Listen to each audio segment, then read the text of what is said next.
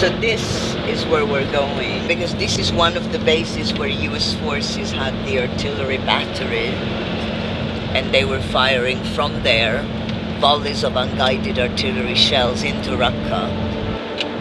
I didn't come to Raqqa with any preconceived ideas of, you know, what had or had not happened. It's a journey of, you know, discovering what happened.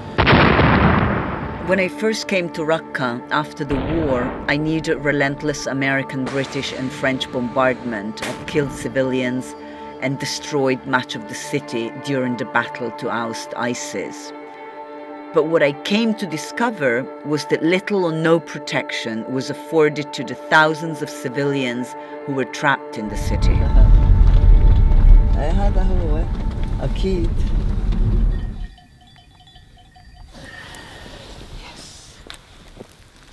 I'm interested in uh, documenting exactly from where artillery shells were being launched into neighborhood of Raqqa where they killed and maimed so many civilians.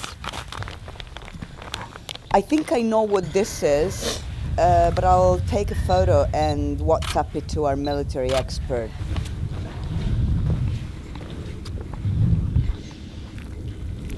From Brooklyn. These are military rations. No single thing by itself is of any necessarily massive importance but my work is about piecing together lots of tiny little bits of scrap of information and these are part of those scraps of information. Raqqa is the most destroyed city in modern time in terms of percentage. There is no part of Raqqa which has been left untouched. These are the cases um, from the remote research and at the same time cases that we geolocated on sat imagery, not necessarily the precise building but the area and there are names I'm going to investigate the case of a little girl called Fatima. She's 10 years old. An artillery shell struck her home, killed her mother and her three sisters, and Fatima lost her leg. ما اتذكر التاريخ بالضبط عندما صار القصف و... وصوبت صوبت ما أتذكر. كانت هون على الباب هون قاعدة وطارت بك هون قالت لي وطار والباقي كلهم ماتوا هذوك. بس إحنا كنا ك- كثير كنا نحاول آه، آه، نتأكد بالتاريخ بالضبط عشان هذا الشيء كثير مهم. بس ما فيك إحنا نرجع. عندما راح يكون موجود. والله هذا يوم تاني بكرة بعد بكرة وهو برا المحافظة. آه بكرة. بكرة هو موجود.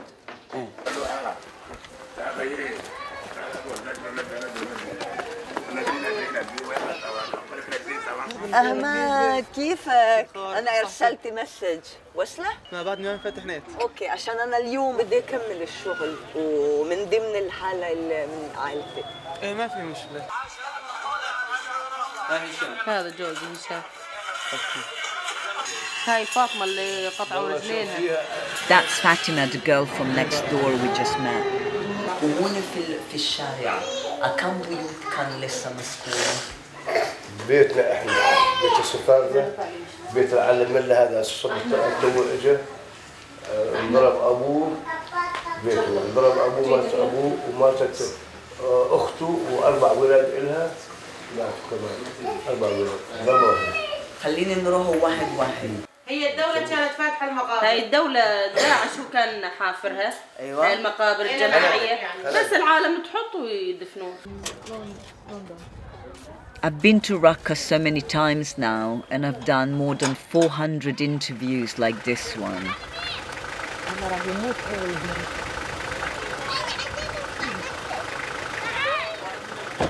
Artillery is very cheap, but that's what it does.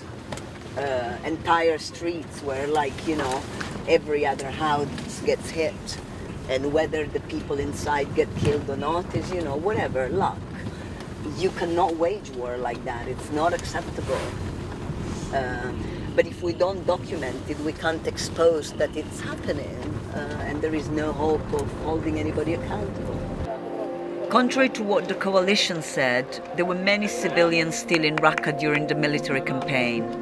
They were trapped between the bombardments and the ground fighting, while ISIS fighters killed anyone who tried to escape. هذيك فيها داعش. الناس منين تجي؟ من طريق من هونيك تجي هيك حد المصرفان هيك. أيوة. المشكلة وين؟ هون كانوا يرصدوا الناس اللي تطلع. يقعد فوق القناص. من قطعتي ما فينك تمشي بالأرض الفاضية. فيها ألغام. منين فينك تروحي؟ من هون. بس من ناحية البيوت شايف البيوت هي كلها؟ أيوة هلا من قطعتي المي خلص انتهى كل شيء هاي المنطقة شو هذا؟ تلمي؟ وبعدين شو تعمل بيها؟ تبيعه؟ أيوه ما تروح أنتم ما تروحين المدرسة؟ ما ما نروح المدرسة ما تروح المدرسة إحنا من البلاد آه إحنا من البلاد إحنا من هنا من وين أنتم؟ لاجئين. لاجئين من وين؟ حمص US soldiers boasted that they launched more artillery shells into Raqqa than anywhere since the Vietnam War, but it was actually the airstrikes that killed the most people, MK bombs that take out entire buildings. So we're trying to find one of only two survivors of a strike on a building which killed at least 32 people. And I just want to understand exactly where that happened. The satellite imagery can give a window, but the best you can do with satellite imagery is that you need the absolute precise location because if I have something which is near, like and and here there is so many places that were hit so it needs to be so precise otherwise it could just be another case altogether another strike اسمي اسم المنظمة رقم تليفون الواتس كل شي عشان تعرف مع مين تحكي. اللي من عيلتك اللي توفوا. هناء محمد مطلق. زوجتك. إي. ضربنا الساعة 6 المساء كان نهارها اثنين. هلأ في بناية ثانية كمان بقفها بعد بخمسة أيام كمان راح فيها شي 26 واحد تدامرة بدي آخذ موقع المكان بالضبط وين وين ماتوا هذا بدلك. وقلك وين كل كل عائلة كانت موجودة يعني. أيوه. يطلع هيك. كل شيء متذكر.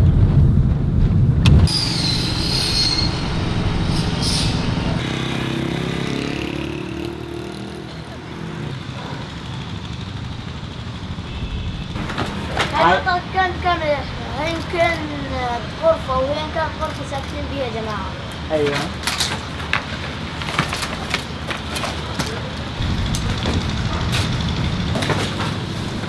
هذا كان إلى مين؟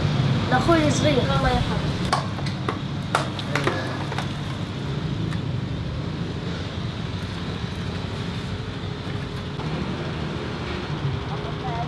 I need to collect as much material evidence as possible before it all gets wiped out as the city changes. This camera takes 360 images. So I need to go away now. And you need to go away also. What happened in Raqqa is a situation where the forces that are involved, the international coalition, privileged protection of their own forces versus protection of the civilian population. It will never be possible, neither for Amnesty International nor for any other organization, to investigate every single cases. Um, the resources are just not there. Uh, it's, it's a huge um, undertaking.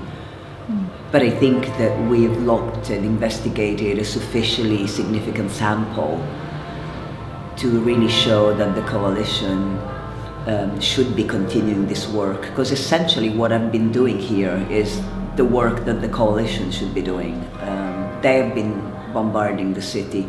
They should be here looking at the impact that that has had on the civilian population.